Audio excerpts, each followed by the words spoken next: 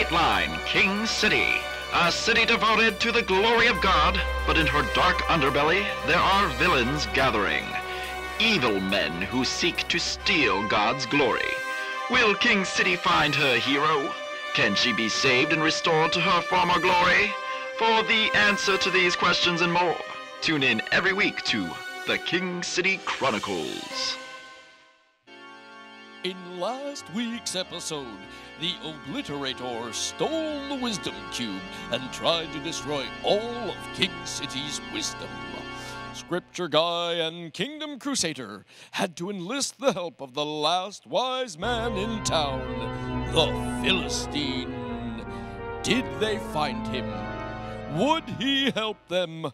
Or will it be too late to save our city? Find out right now in the next exciting installment of King City Chronicles. Thanks for helping us out, Uncle Phil. I mean, uh, Philistine. Uh, how's that invention coming along? Just a moment. You can't rush perfection. Okay. And voila! it's ready! The heart shield! Huh, what does it do?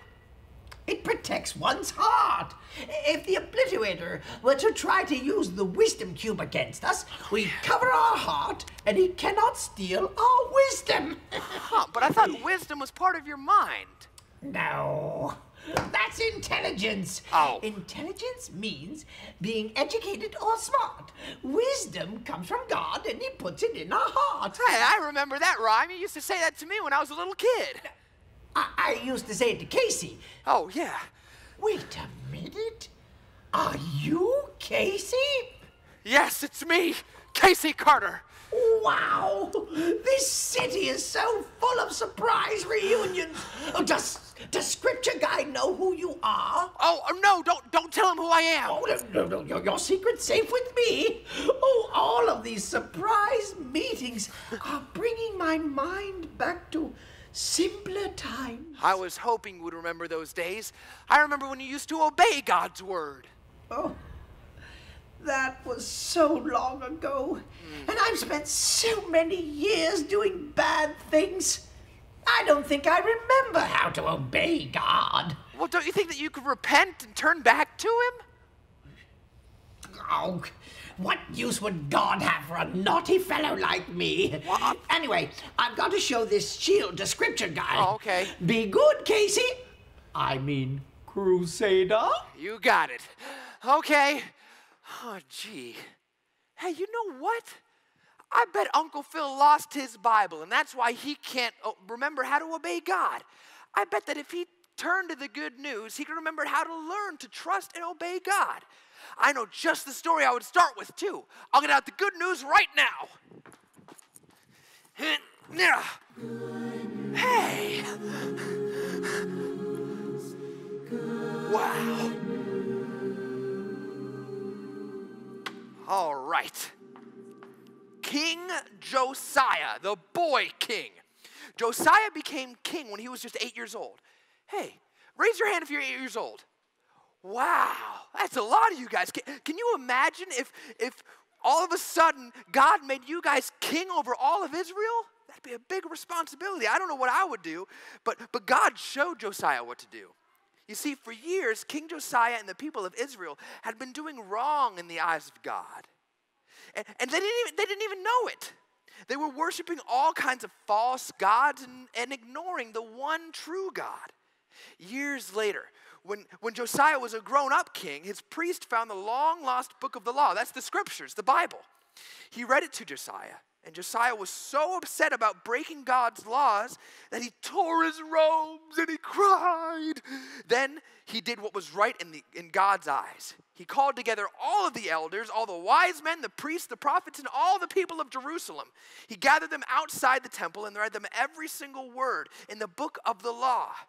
Right then and there, King Josiah renewed his covenant promise to obey God's word with all of his heart and all of his soul. The people made that same promise to the Lord, and Josiah destroyed all of the false gods and the places where they worshiped.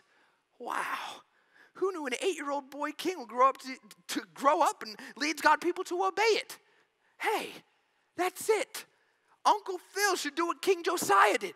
In fact, everyone in King City should read God's word and obey it. Huh. Kingdom Crusader, I thought you said that the Philistine was a wise inventor. Oh. Look at this invention he made. He made a bunch of these little shields, and, and we're supposed to protect our hearts. How are we supposed to defend an entire city with this tiny shield? I, don't- I don't think you understand that it's it's. Aha! Oh. The Redeem Team together at last.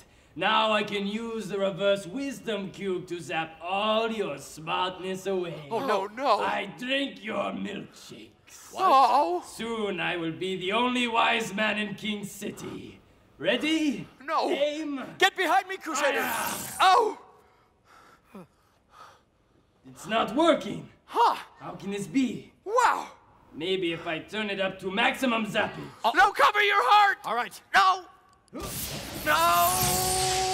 Oh, the shield is reflecting his rays and sapping wisdom from the obliterator. Oh, wow! Whoa. Somehow I don't feel as smart as I was a minute ago. Wow! Oh, we should turn to God's word and learn what to say next. The Bible says the king stood by the pillar and renewed the covenant in the presence of the Lord to follow the Lord and keep his commandments, regulations, and decrees with all his heart and all his oh. soul. Ugh. My head hurts. Me no like this cube no more. Yes! Bad cube. Me leaving. Me want to go to Chuck E. Cheese. Oh. Yay, Chucky. It worked! Yes. It worked! Kingdom Crusader, how did you know to turn to the Word of God? Well, that's what King Josiah did. Oh, I see. Yes, he had, he had the hunger to do what was right. The Bible says that neither before nor after Josiah was there a king like him who turned to the Lord as he did, with all his heart and all his soul, with all his strength, in accordance with the laws of Moses. Well, I am impressed with you, Kingdom Crusader, and I'm impressed with the Philistine for inventing this little wonderful shield. You know what? We should hold on to this shield. Yeah. And keep it as a reminder to always let the Word of God be a shield for our hearts. Absolutely. It really worked, didn't it? I told you, Uncle. Um, I- I mean, the Philistine is learning to obey God. I think one day he may just learn to trust God. Well, he sure came through today. And so did you by obeying God's Word. Oh, it's nothing that any eight year old king wouldn't do. I don't know what that means. Oh. But I'll hold on to the shield as a firm reminder. Well, you're right. Reading God's word shows us how to obey him. Well, let's all uh, head over to Chuck E. Cheese. Yes. Get a hold of that obliterator and take that wisdom cube away before he tries to use it again. Absolutely. Let's all say our motto together, kids.